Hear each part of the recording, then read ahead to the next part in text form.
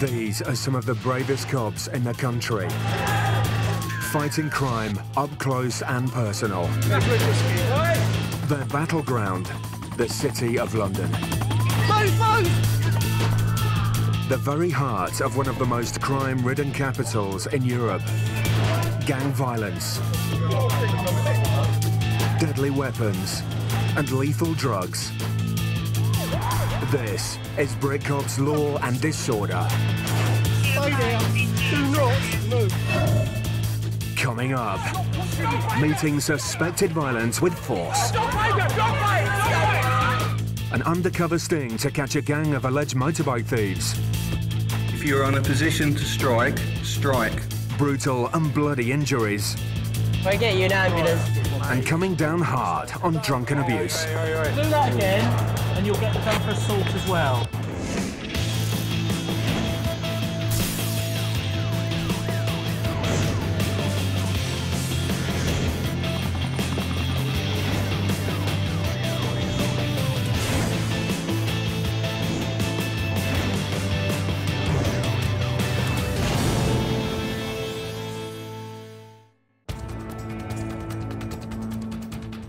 Friday night in the City of London. Uniformed response PCs David Edwards and Giles Cunningham are rushing to the scene of a 999 call. All they know is there's a massive fight on the street. Bottles are being smashed and the cops need to get there fast. Just as the rapid response cops arrive at the scene, they're given a tip-off. A car full of the alleged suspects is up ahead. They get right behind them and pull them over. The cops need to tread carefully. There are four people in the car, and they don't know who they are or whether they're armed. Hello, chap. Should we take the keys out and join me on the pavement, please? You wait in the car, chap. Wait in the car. Why are you pushing Wait in the me? For his own safety, PC Cunningham needs to talk to them one at a time. But one passenger refuses to get back in the car. We're trying to take this thing. The man seems agitated and could be aggressive. PC Cunningham isn't going to take any chances. Bro, you, bro. Stop pushing me. With a perceived threat to the officer's safety, colleagues are on the man in seconds. It's right. Giles, calm down, mate. As it kicks off, a crowd starts to build. Listen to me. I, I stepped out the car. The guy told me step out the car. Why is he pushing me? While they get a grip of the suspect, other officers try to get a grip of the situation. Some guys was pointing in this car, driving away. So obviously they make descriptions as males being involved. Right. Needing more information, they grill the driver. Has there been fights? I've seen some commotion down there, but it's nothing to do with us. He claims that they saw a fight, but weren't involved in it. By now, police activity is attracting an even larger crowd, and the atmosphere on the street is getting tense. It's creating too much of a, problem here, so we're going to knock it on. PC's Edwards and Cunningham have to make a decision quickly before they lose control of the situation.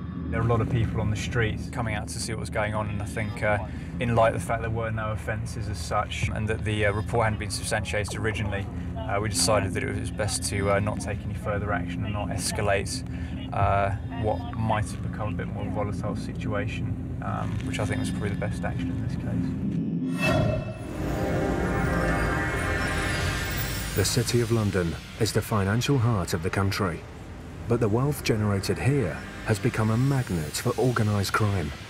In the square mile, criminal gangs are known to operate. But hot on their tail are the City of London's crime squad.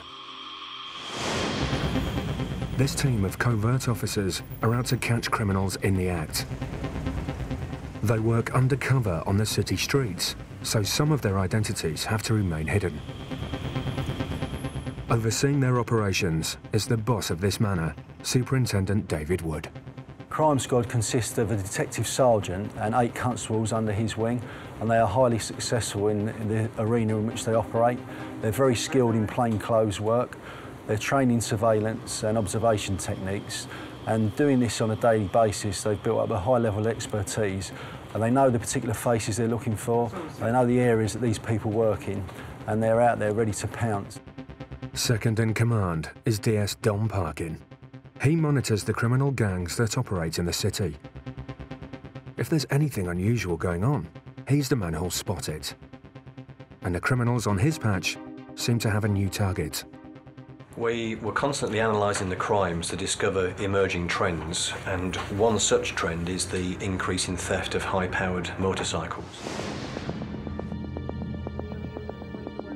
Two men arrive at a bike bay, quickly followed by a white van. While the two men check out who's around, the driver keeps the engine running. Then the scouts do a quick recce of the whole street. They return a few minutes later, signal to the van driver to move the van into position. Then, in a matter of seconds, the cocky criminals calmly open the van door and 10 grand's worth of bike disappears into the back.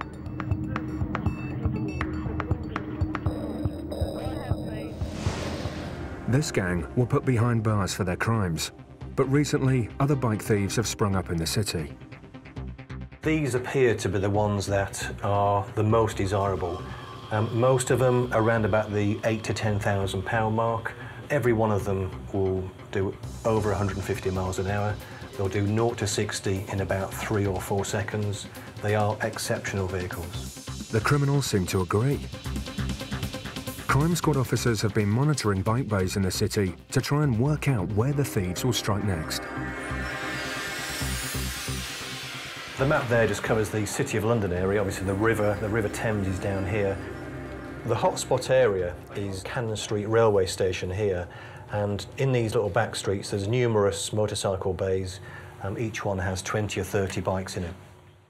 With this area identified as a likely target, Crime Squad cops prepare for the sting, codenamed Operation Dollar. But these officers aren't just going undercover, they're going in disguise.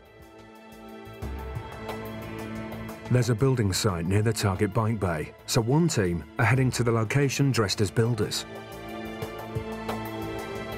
For this stakeout, they need to blend into the crowd. The passing public won't know they're there. And more importantly, nor will the motorbike thieves. Even the crime squad governor, DS Don Parkin, is taking on a new role. He's now a cycle courier. And beefing up the numbers are normally uniformed officers Tom Branch and Mike Nunn. All right, well, obviously, you can see I'm uh, dressed as a builder to the, uh, the, the, best of our efforts. Uh, so we'll have uh, two or three of us here in a van, and we're sort of we've got the sort of left of the bays, three or four of the other guys dressed as builders, and then what we have is people in an observation point who have got a very good view of the bike, and they can see what's coming in and out of the area. Because these gangs have a reputation for violence, the crime squad can't take any chances.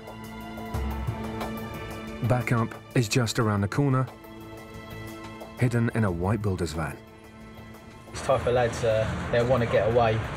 I won't necessarily want to fight, but they just want to get away by any means. So yeah, chances are they'll probably have to be put on the floor and handcuffed straight away. After the break, a chase through Liverpool Street Station. The trap is set for the alleged bike thieves. If you're in a position to strike, strike. And cops hunt down a suspected shoplifter.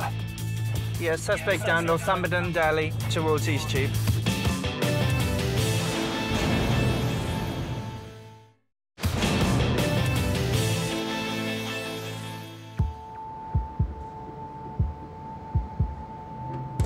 The City of London is suffering from a motorbike theft epidemic. And it's down to the undercover officers from the crime squad to catch the gang responsible. They're in disguise, surrounding the area and blending in with the public. Businessmen, builders, tourists. It's impossible to know who is a cop. With a bike stolen on their patch every two days, it's vital for the crime squad to catch the gang red-handed. They believe stolen bikes are being stripped down and sold on. They're stealing the motorcycles, and then because they can't shift them on their current chassis numbers and current registration plates, they're rebuilding the bikes around legitimate frame numbers and then shifting them on. The crime squad have identified a bike bay filled with top of the range machines that they think will be the gang's next target. You know, we've got intel, you know, we have got information, but at the end of the day, it's just like calculated luck. It's a waiting game, but when you get the result, it means a lot. These thieves are bold and brazen. Previous gangs have stolen bikes from bays monitored by CCTV and in clear view of passing members of the public in broad daylight. And lately, the gangs have become even more audacious, ditching the white van and just towing the bikes away on the back of a moped. Be two up on the bike, and if there is anything worth nicking, one, to get off, sit down at the front of the bike, and try and break steering lock. It can take as little as 10 seconds. Suddenly, the cop's patience and planning looks like it's about to pay off. One of the officers notices two riders on a moped paying attention to bikes in a nearby bay. Just doing a, just had a moped come in, done a look at all the bikes, turned around, gone back again. Just doing a check on the uh, PNC, see if that motorbike's stolen or not. A police check on the license plates revealed that the vehicle is stolen and it's heading their way. It's midday in the city. And uniformed officers spot some suspicious activity on the side of the road. It's not rubbish. No rubbish. No, it belongs to someone. Yeah? Just section one Yeah. Do you want to just go over there for us? This man suspected of ripping copper wiring from the back of a phone exchange box. Basically, because I've seen picking up of the, uh, the wires and things, I'm going to search you under section one of PACE, okay, for stolen articles going equipped to steal. You got anything sharp? that may hurt It's a strange crime, but one that's on the increase as the price of copper goes through the roof. And the suspect seems to be carrying the tools of the trade. Stanley Blade. The theft of copper wiring may seem petty, but it can have a devastating effect on local businesses, causing havoc with communications and costing thousands in lost revenue and repair. Basically, we've just found a load of uh, load of copper wiring and various other bits of uh, building material. And then in the other bag, we found hacksaw and uh, other stuff. I think I think he'll be coming in for gain to steal. As we noticed him taking the uh, the wires from the back of the uh, the phone box there, we'll get a unit down here to deal with them. Normally they take it from buildings, derelict buildings and uh, old buildings like that. But yeah, it's quite a big business apparently. Get a lot of money for copper uh, wiring. I'll go and get a bag. The price of copper can reach up to £5 per kilo, and this suspect has two rather large bags full of it. This crime isn't for the faint-hearted. The stakes are high. There have been a number of deaths through electrocution as a result of this crime. But amazingly, this doesn't seem to put the thieves off. There's been a, a lot of um, thefts of cables and things like that from building sites and new developments. So This man may have escaped electrocution this time, but he's still in for a shock arrest you. Going quick to because his copper-based theft has been foiled.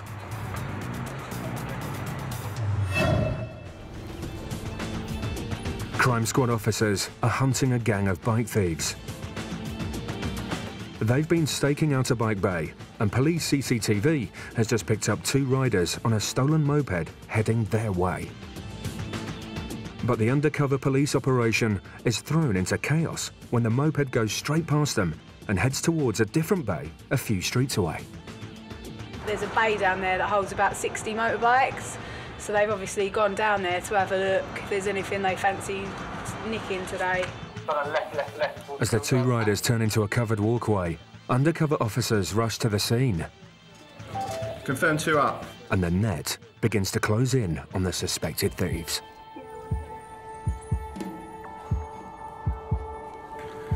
Yeah, units to drift towards. Driver's now off, walking through. One of the riders takes a closer look at the bikes on offer. I'll confirm when the second person is.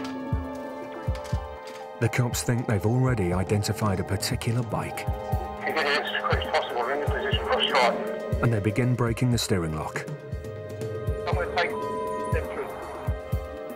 Just as undercover officers begin to move in. Yeah, all units keep the uh, airways clear. He wants to go in.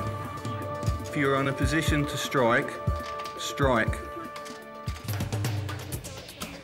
The cops strike hard and fast, using CS gas and wrestling both suspected thieves to the ground before either of them knows what's happening.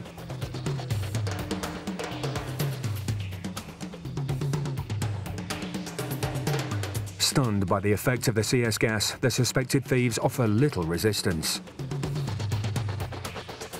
And the cops soon have the situation under control. What we've had here is uh, two guys turned up on a stolen bike into a secure little alleyway and they've tried to steal the bike next to them. And fortunately, we had cops down here and they've been detained.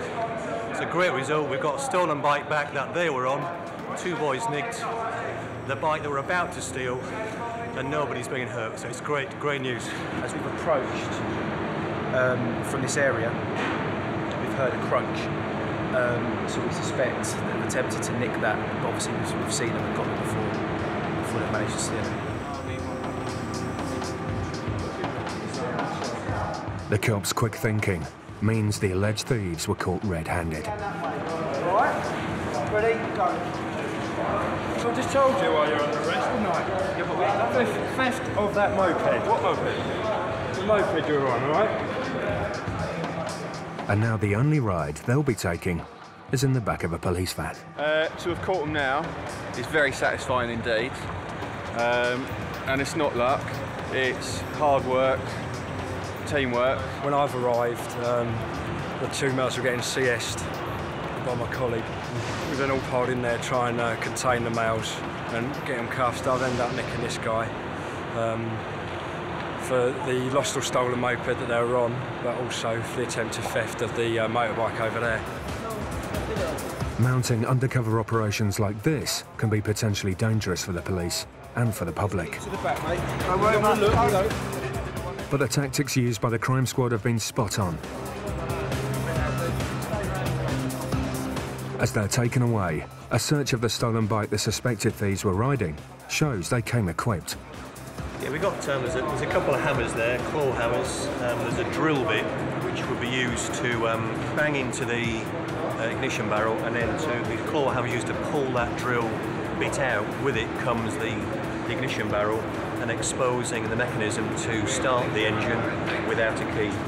Operation Dollar has been a success. These two suspects are now heading for interview rooms, where the investigation will continue.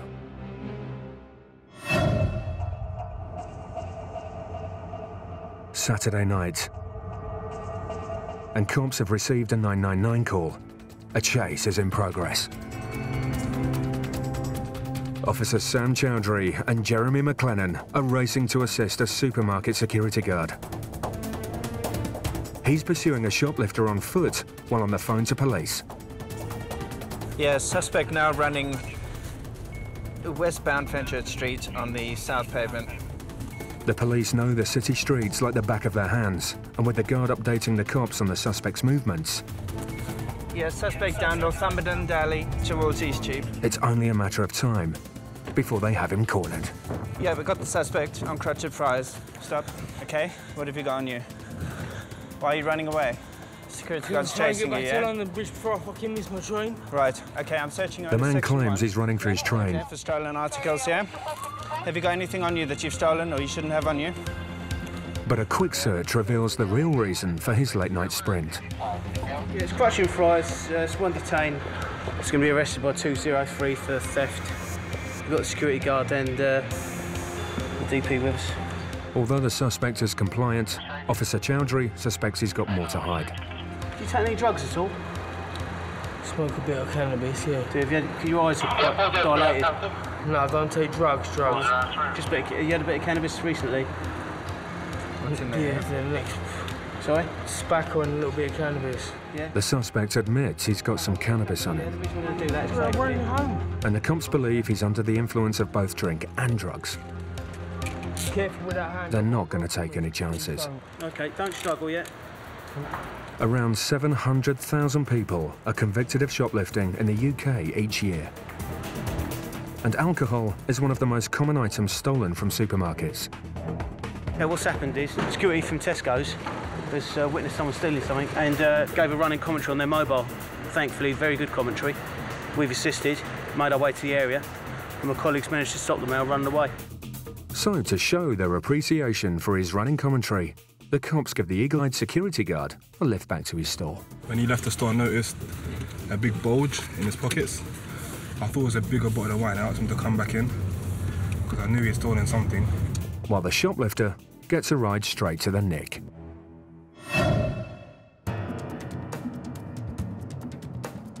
Midnight. And police have been called to assist in another foot chase. But once again, it's not a cop who's in hot pursuit of the suspects. This time, it's a taxi driver. He's telling three people who have allegedly done a runner from his cab without paying the fare. Basically, we've had a call from a taxi driver, two males, uh, two females rather, and one male have uh, walked off without paying the fare. Um, we're going to try and trace them. Yeah, what entrance did they uh, enter the station, please? But as the cops enter Liverpool Street Station, they lose contact with the taxi driver. Yeah, I can't get through uh, to the informant via his mobile. If the if there's any other unit that can go to outside Liverpool Street Station, try and locate uh, the taxi driver. We're going to do a search, an area search of the inside of the uh, station. The last trains are getting ready to leave the station, and with 18 platforms to check, the cops know time is against them. There's a good chance the suspects could board a departing train and slip away. Minutes later, the taxi driver makes contact with the cops. He's on one of the platforms. He's found the alleged fare dodgers. They've just boarded a train, and it's about to leave.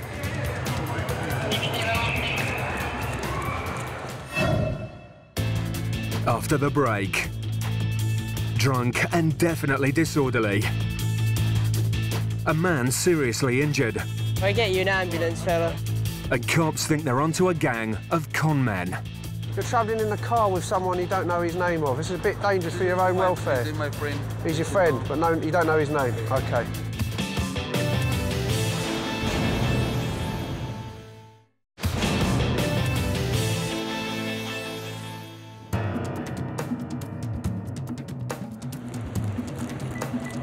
At Liverpool Street Station, officers are racing to question three suspects who have allegedly run from a taxi without paying their fare. Do you want to step off the train, please?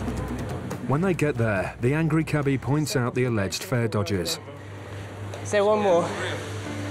Step off. Uh, give us a wall. Oh, sorry, mate. This guy's saying that we haven't. All right, yeah, okay, just go stand up. All right, so stand up against here for me. All right, what's what's happening, fella? We said to him 50 quid. We gave him a tenner and then he got the um. So that was So you haven't paid enough then, yeah? Well, no, haven't when I say we haven't, when I say we haven't paid enough, mate, it took us around the bloody hours as it was. We missed our first train as it was. We're waiting for another train now, and literally I'm taking my girlfriend back, all her gear back to mine. So.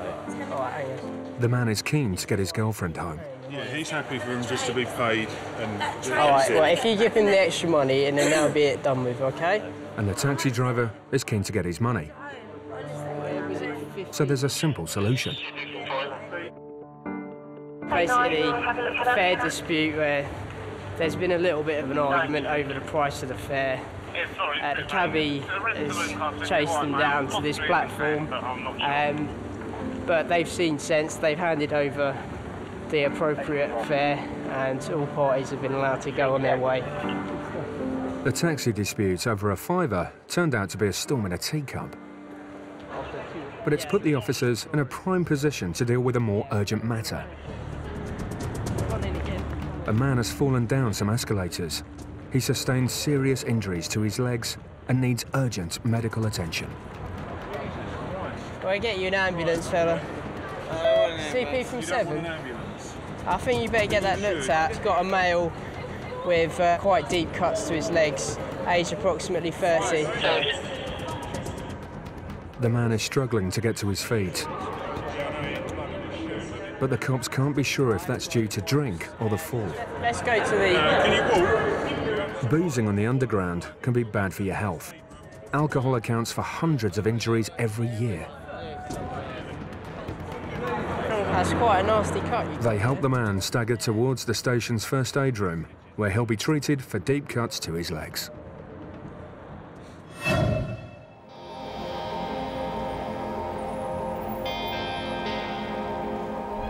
Half a mile away, PC's Chowdhury and Jones are responding to another 999 call.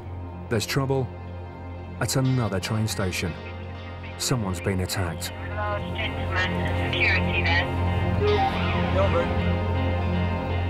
The officers are there in minutes. When they enter the station, they find a man being restrained by two community support officers. Who? Me? Are you talking about me, love? Apparently, yeah. No, no. But it soon becomes clear this isn't the suspect in the alleged assault. Are you happy for him just to be ejected then, are you? This is another incident altogether. But no other offences have been committed, no? Uh, no, it's just been. You're not travelling from here, yeah? Station staff have claimed this man has been verbally abusive to them and they want him out.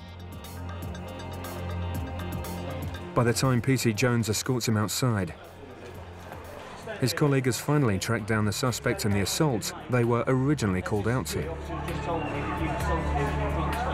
He's accused of not just swearing at station staff, but of actually assaulting one of them. This gentleman's security guard, works for a train station. He's just informed me that this man's been abusive towards him and assaulted him. Uh, we've just turned up on scene. There's another male been ejected from the premises. But due to the allegations, the other male's going to get arrested. Just stand there now, what I'm saying. Just stand there a minute for yeah? He jumped the barrier. This gentleman's tried to get him back, and as he's come back, he's caused a bit of a scuffle and hit the gentleman.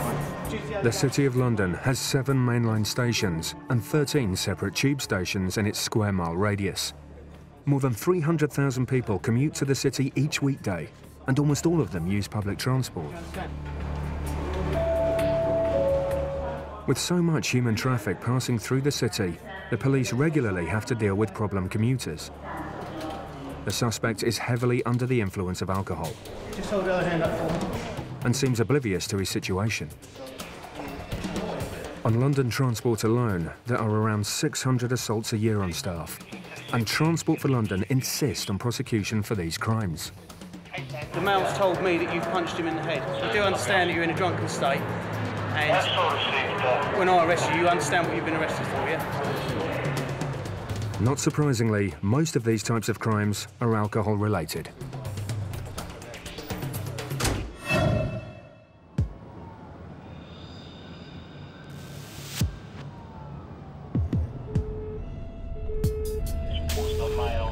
Across the city, PC's Abda Shahid and Liam Byrne are racing to save a man's life.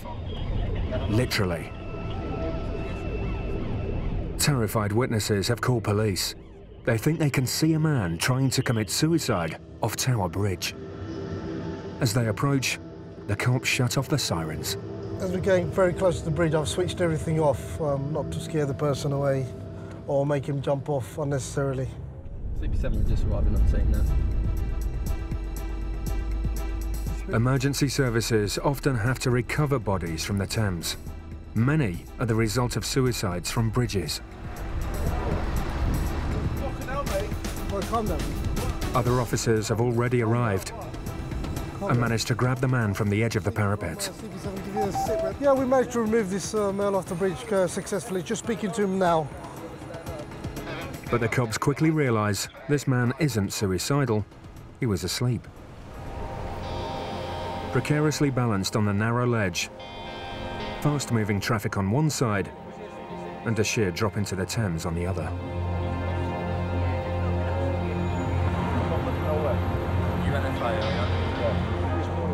And he isn't too pleased that he's been disturbed. I was, I was, I was quite happy. In the end, the officers had no choice but to simply move the man on. He may not realise the danger he was in, but the police are in no doubt he's actually lucky to be alive. He's, he's kind of found, obviously right on the, the side of the bridge here, down the other side is a, a completely sheer drop. So if he's moving around, moves his legs, he's going to go straight down there, straight down the other end of the bridge. So we can't let him stay here for obvious reasons. It's just not safe. Um, he's not very happy about it for whatever reason. He doesn't like his life being saved. Um, but we're going to send him on his way anyway. But obviously it's um, not the most sensible place to sleep.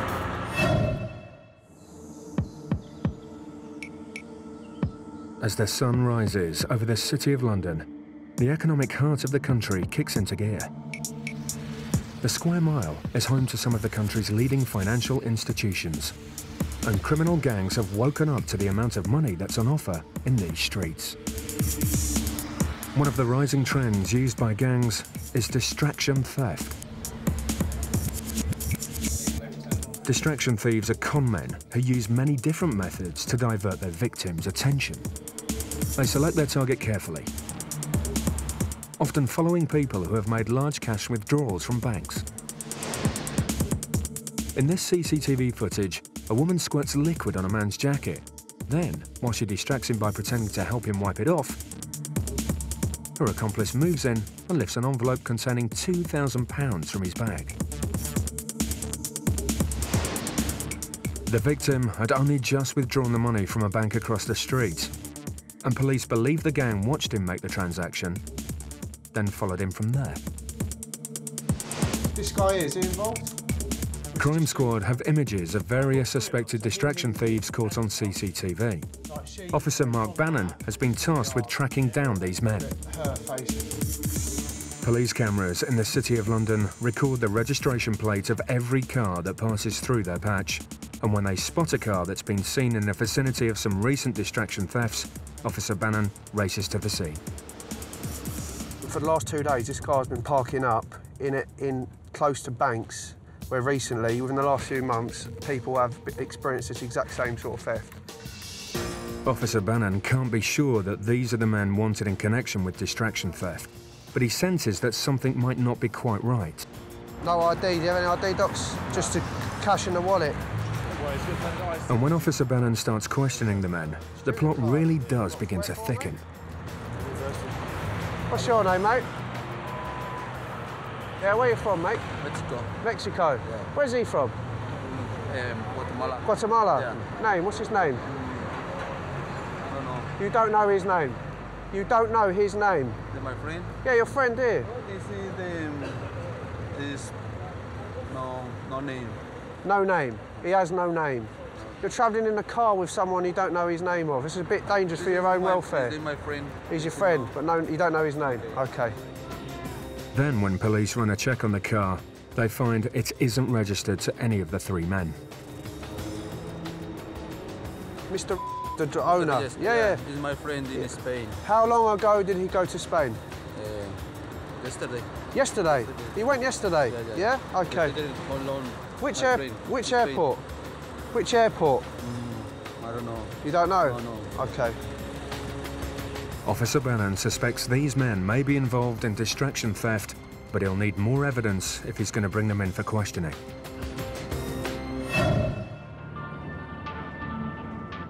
Across town, and cops are already dealing with their first booze-related call-out of the day. Oh. Stop swearing. A drunken man is verbally attacking passers-by. He just told me to Fuck Oh. off. Yeah, it's just, just that. Yeah, just that. He's getting more aggressive by the second. Fuck off. Oh. You've just been told. The cops have a zero-tolerance approach to antisocial behaviour. This drunk is getting nicked. Oh, right, fella, you're under arrest. Suspicion of being drunk, disorderly. You don't have to say anything but it may harm your defence. If you do not oh. mention, off. when questioned, something for you later relying in court. Anything you do say may be given evidence. Do you understand? Yeah, die. Just Stay there, all right? He was verbally insulting uh, two black females that went past, saying to fuck off back to Jamaica. She's speaking to him, he's swearing at her, chucked all his papers on the floor. clearly due to his intoxication, got no respect for people and uh, being abusive. He might be in handcuffs, but that doesn't stop this man from striking out at PC Darren Brockwell. Do that again, and you'll get done for assault as well. Okay? Don't kick my head. The officers take no chances and hold him down in case he kicks off again. Cops have to deal with this barrage of abuse all the time. For them, it's just another part of the job. And when he realises he's off to the nick, he doesn't make it easy for them.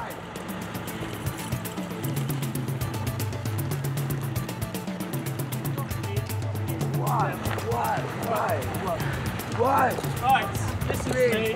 Where is my car? Where is my car? Finally, in the van, he's taken back to the station to sober up. Troubles of alcohol.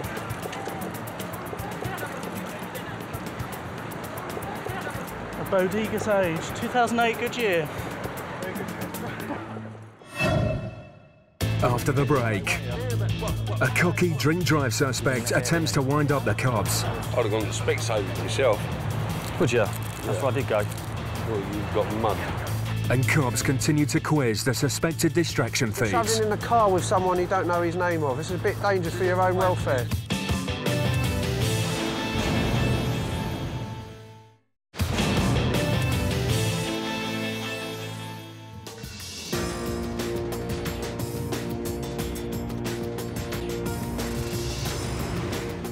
Crime Squad officer Mark Bannon suspects these men may be a gang of distraction thieves. Distraction thieves generally work in teams.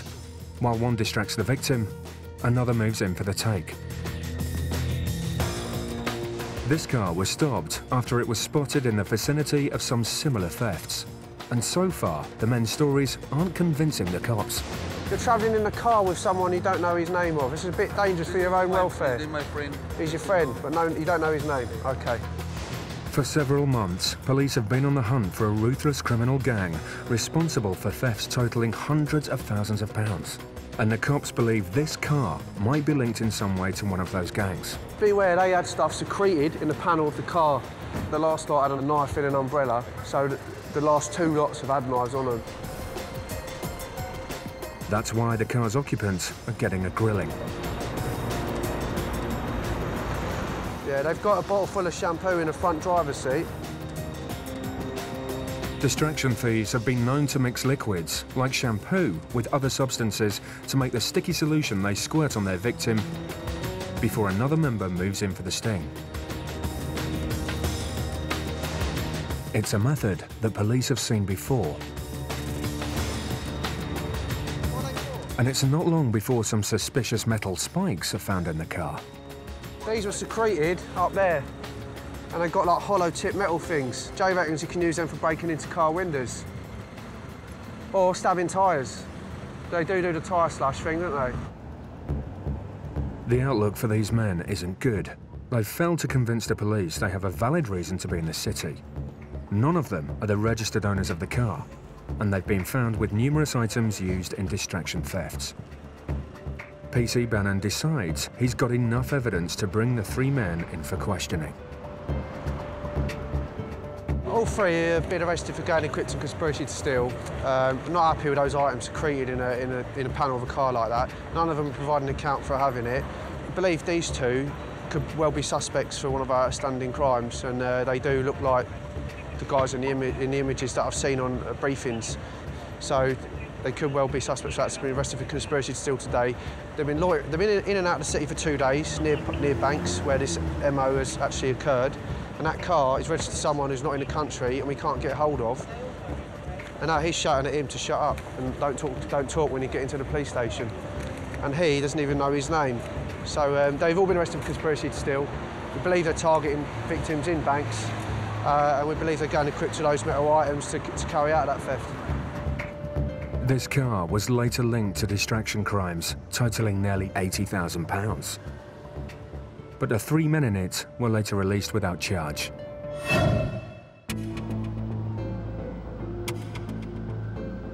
It's the middle of the night shift. Cops have nicked a suspected drink driver, but they've called for backup. PC's Jarvis and Brockwell are en route. We're basically responding to an incident where um, I believe a drink driver has been stopped by our, our officers uh, in an unmarked vehicle and the man's becoming quite aggressive, so we're going to um, assist our officers. The suspect's getting more and more difficult, even though it was his arrogant manner that got him stopped in the first place. Don't be an idiot. Comply with the procedure. If you're going to be under the limit, you'll be on your way. He's on his mobile phone. Oh, he's Oh, excellent. swerving as he's driving. Yeah. We pulled up at the lights, and I said to him, "Oh, it's sixty pound fine, three points on your license." Okay. Oh, you got no seatbelt on as well. That's six pound. When he's trying to do his seatbelt, he's dropping the seatbelt and he's falling, Yeah. and it's he, he can't manage to put the seatbelt over his arm. Dealing with difficult people is something experienced cops do all the time, but they still need to keep their cool, even when the suspect is trying to be clever. I'd have gone to Specsavers myself. Would you? That's where I did go. Well, you've got mud. Come on, get on Fella, with it. I'll do it when I'm ready, yeah? Well, well, I'll do it when I'm ready then. Good, well then you get nicked, mate, won't you? The driver's obnoxious behaviour isn't doing him any favours, and he's refusing to cooperate with officers. Chelsea. Failing to provide a breath specimen can result in a fine of up to £1,000. For how old are you. Don't ask you how old you are. And you'll be arrested anyway. So despite his cocky attitude, the driver has little choice. All right, so what I'm going to ask you to do is can you blow blow into in the this mouthpiece and, until I say stop, when you're ready. Okay, keep going, please. Keep going. Okay, thank you. Okay, at the moment, sir, this result is a fail. All right? The cops don't seem surprised by the result. That's a bit, isn't it? He's in the next area, isn't it? You're going to be arrested for failing yes. breath test, right? You're not saying it may highly offensive. I mentioned. The realisation of what's happening seems to temporarily calm the driver down. I do. Good. And you are you going to come to the van compliance? I've not got a I'm cuff going you. to come to Excellent. comply. Right, what I'm going to do, I'm just going to search you, give you a cursory search, make sure you've got nothing that's going to hurt you in the van, all right? Oh, piss off. But it's not long before he's up to his old tricks again. No, suit you, sir. Being arrested and handcuffed has done nothing to dampen this driver's cocky attitude, Oh, very aggressive. which was one of the main reasons he was stopped in the first place. I'm not aggressive at all. I'm not aggressive at all. No, you, you, let's just walk with me. No, no, you can't walk with me. You walk with me. And he continues to try and wind the officers up, Yeah, see? Mug. All the way to the police van. I've got to go. Call tonight. Not you. Brit Cops, law and disorder, taking you to the front line in the battle against crime. Hunting fugitives, Get on the floor, mate! On the floor! catching conmen, Bank cards in other names have been found. cracking down on drugs.